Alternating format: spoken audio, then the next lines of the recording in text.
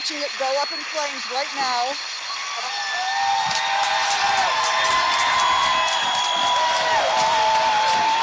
I just wanted you to hear the sound of people cheering as the third precinct appears to be on fire.